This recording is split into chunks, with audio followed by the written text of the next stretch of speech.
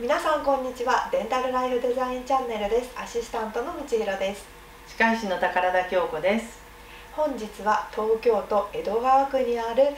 宝田歯科医様にお邪魔しております、えー、今回のご質問は患者さんがデンチャーが緩いと言われた場合のうまい返答方法を教えてください。ということでご質問をいただいております。早速宝田先生に聞いていきたいと思います。はい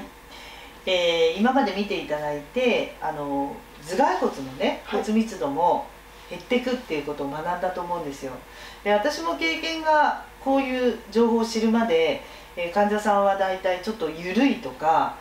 あのちょっと外れやすいとか今までフィットしてたものが緩くなってきたっていうことを年のせいなのかとかなんかこう病気したから体重が減ったからって全然体重も減らないのに緩くなってくるってこれ一体どういうわけっていうふうに質問されたことがあったんですが私もこの骨量の変化をきっちり知るまでは非常にそこ自分が返す返答が曖昧になってたんですけどこの骨密度が年齢とともに落ちていて顎骨の変化もあるっていうことを知ればですねちゃんとそれは歯があってもなくてもその顎骨がその骨量が落ちてくるためにあの全体的にちっちゃく萎縮してるわけですよね。というわけでそこに電茶を入れていたら当然のことながら少し緩みが起きてくるっていうことを衛生士さんの立場からきちっと患者さんにお話しすることができることになりますね。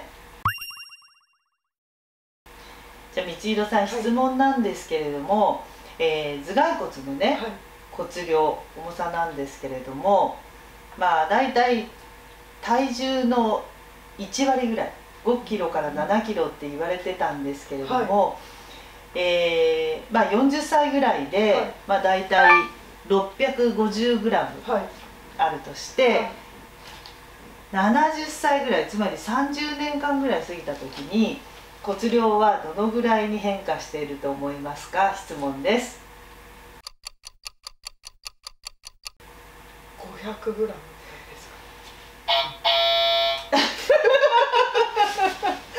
見てください。280g です。半分以下ですか？そうです。でこれはねきちっとあの寺川先生っていう先生が論文に出されているんですけどその論文細かく私あの国会図書館で複写していって見た限りではあの歯がちょうどない方の部分もあったので歯の重さとかも自分の診療室で測ったことあるんですけどそれ全部加えたとしてもですよ足立まで全部もしあったとしても70代でそれでもね 50g をちょっと小骨の重さも全部こう加えたとしても、まあ、50とか60ぐらいだったんですよ。だから加えたとしてもまあ330とか340ぐらいなのでなので650からまあねこの変化、まあ、仮に330ぐらいだとしてもものすごく変化してることが分かると思うんですよね。はい、こういうその、まあ、知識っていうのは、はい、やっぱり私たちあの歯科医師にとっても歯科衛生士にとっても、本当に必要だと思います。ありがとうございます。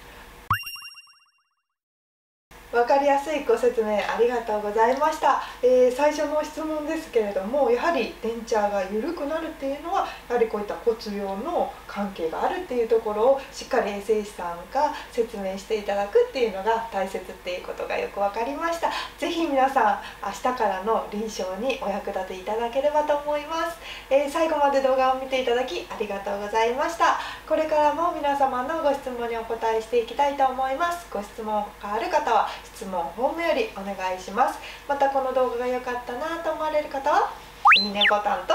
チャンネル登録お願いします。それではまた次回お会いしましょう。